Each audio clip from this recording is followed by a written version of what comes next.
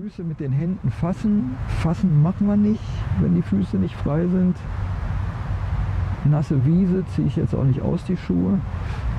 Dann mit den Mittelfingern von oben ein bisschen tiefer als der Spann, also ein bisschen zu den Zehen hin, mit den Mittelfingern die Gegenseite vom Quellpunkt einmal antippen, anstatt des Füße fassend. Aber achtet enorm auf euren Kreislauf. Ne?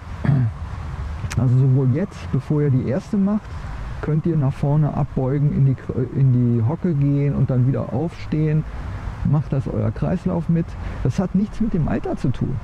Ja? Achtet halt, egal wie alt oder wie jung ihr seid, auf euren Kreislauf. Und halt nach einem Durchgang dreimal langsam ein- und ausatmen, weil dieses Sternchen sehen, was den Kreislauf andeutet, dass er nicht mit hinterherkommt, kommt manchmal wirklich verzögert. Und dann bleibt stehen. Oder setzt euch hin oder legt euch hin, je nachdem, was der Kreislauf sagt. Mal leicht nach vorne abbeugen. Auf den Quellpunkt von oben zeigen, Gesäß in die Luft in die Hocke, wie es angenehm ist. Ne? Auch hier gibt es nichts zu erreichen. Das Besondere beim Aufrichten ist, wenn ihr die Schulterblätter erreicht habt, dann bleiben die Arme ein bisschen mehr in die Hocke, auf die Hüften und sich in den Himmel blickend leicht öffnen mit der Brust und wieder also auch einatmen. Ne?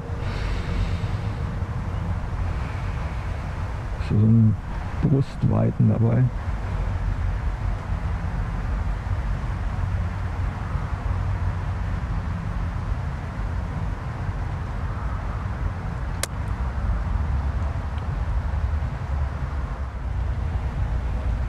Ist ja gut, zwei Brokate ist auch gut. Gesäß in die Höhe. Hocke.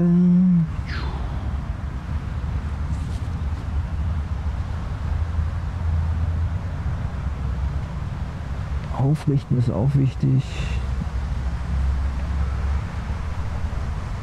Sitzen.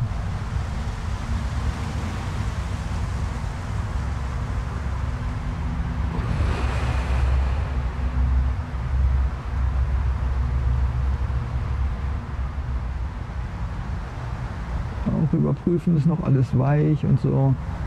Schon nicht automatisch ähm, steif werden. Ne? Achtet da auch drauf. Einmal noch.